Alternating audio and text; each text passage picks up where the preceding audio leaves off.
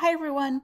Let's do one last example here to kind of get you started. These can actually get a little bit tricky to think through. It's not that there's so much work, but they can be a little bit twisty. So make sure you make good use of Q&A forums um, and talk to tutors, whatever you need to do, check in with me.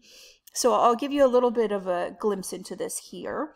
Um, we have a winch with a radius of two feet. So right here, this is our two feet and we're using it to lift some sort of heavy load. We know that it makes eight revolutions every 15 seconds, and we want to find how fast the load is actually rising.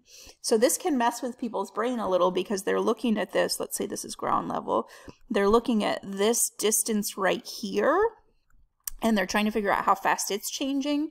And uh, sometimes people don't immediately connect that to the circle. But notice this is just all um, caused by this rope moving up, right? And the rope has to wrap around the outside of this circle over and over and over again. So the speed at which that rope on the outside of the circle is moving is going to be exactly the same speed at which the load is moving. So this really is a circular motion question. So if we just focus on that circle with radius two feet, we should be able to answer this question. So I'm going to start out with the eight revolutions per 15 seconds. And that is almost an angular velocity. Um, so we could convert it to an angular velocity if you want to, or we can actually just go straight to a linear velocity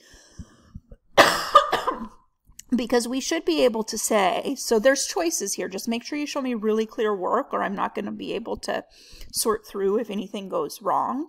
But we know that in one revolution, the um, the rope, any given point on the rope will have traveled all the way around the circumference of the circle, and the circumference of the circle is 2 pi times the radius. So we can actually do just a direct conversion from revolutions to feet, uh, and that's what we want. We want feet per second. So notice we removed revolutions from this problem, and now we're just looking at feet per second. So we have 8 times 2, 16, 32 pi over 15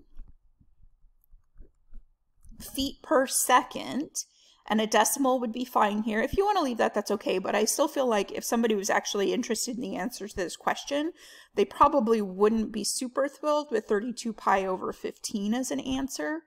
So if we go 32 times pi over 15, we get about 6.7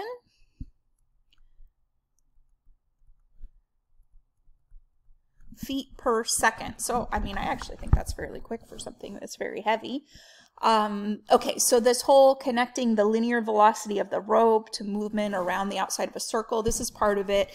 And they'll even get a little twistier than that with multiple circles moving uh, like a bike chain is one of them. So like I said, use the forums, get good discussion going. I'll jump in as needed um, and just let me know if you get stuck. Okay, thanks for watching.